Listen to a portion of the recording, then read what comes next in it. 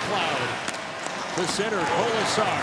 Trying to work it in. Kolesar to the net. Traffic in front. The Roosters!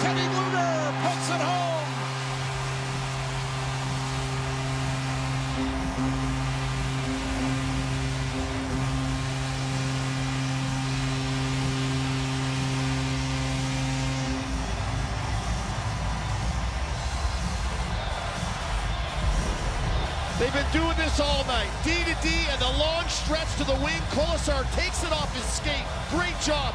Uses his big frame to drive in. Suter late to get there to cut him off.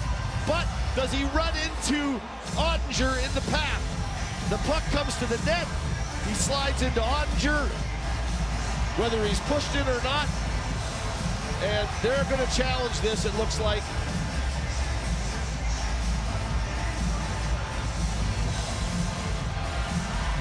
I mean, he's sliding in of his own volition. I'm not sure if he's tripped or not.